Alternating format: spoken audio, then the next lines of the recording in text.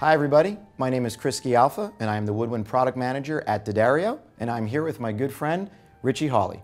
Richie was Principal Clarinetist for the Cincinnati Symphony and is currently Professor of Clarinet at Rice University in Texas. How are you, Richie? Great to be here. Let's talk about selecting a mouthpiece. What are some of the things that people need to consider before actually going out and selecting a mouthpiece?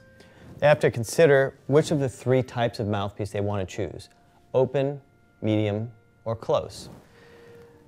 Open, medium, and close is referring to the facing, which is the curvature on the mouthpiece in relation to where it is with the reed. A close mouthpiece, like the X0, has very little curve, and as a result of that, there's wonderful benefits of response and ease of articulation. The X5 mouthpiece has more curve on the facing. The sound can get warmer, but as it gets warmer, there's a little bit more resistance built into the mouthpiece. The X10 is a mouthpiece where the facing has the most curve.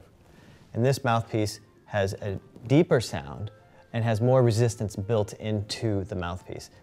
You mentioned resistance. Let's talk about that for a minute. Is that a good thing?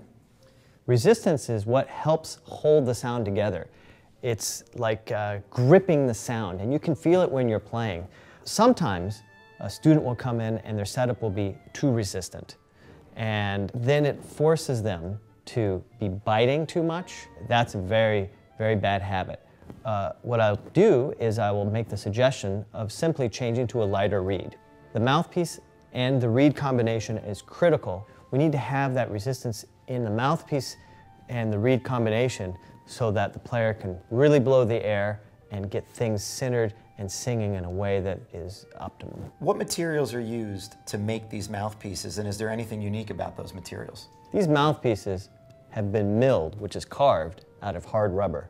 It's very different than a mouthpiece that's been molded out of plastic. Hard rubber has a beautiful warm and singing sound, unlike a plastic molded mouthpiece. So clearly worth the investment. Definitely.